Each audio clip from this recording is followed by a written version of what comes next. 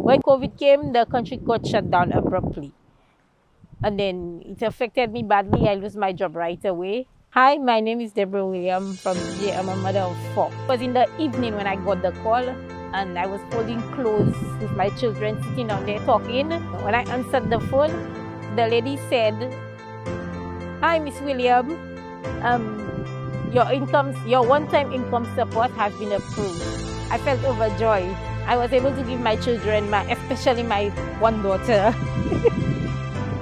the best, the gift I wanted to give her for Christmas. I would like to say thank you to Philip J. Pierre and his team for supporting us, for giving us that one-time support. Thank you very much.